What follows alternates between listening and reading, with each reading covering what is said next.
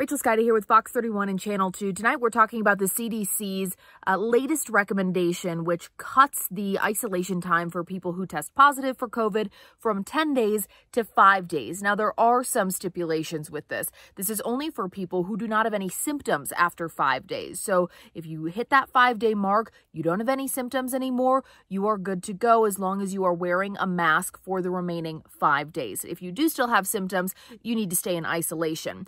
Now, we asked Dr. Barron with UC Health, we've been talking with her throughout the pandemic about these changing guidelines. She says old data suggested that you needed that 10 day period, but new variants like Omicron just move faster. So they infect people faster and they usually burn out a little bit faster as well, according to the latest data. She says you're most likely to transmit the virus actually in the couple days before you start showing symptoms and in the couple days right after you start showing symptoms. So that's why all of this is happening. And there are also some questions about why would we do this now with Omicron circulating uh, the way that it is now making up 91% of new cases in Colorado. Shouldn't we be playing it safe? Dr. Barron tells me this will actually help keep hospitals properly staffed uh, as cases rise. We have data that suggests it's safe. We in the healthcare system wear PPE and mostly are vaccinated. So the risk is like so low that that probably makes sense to have that option if you need it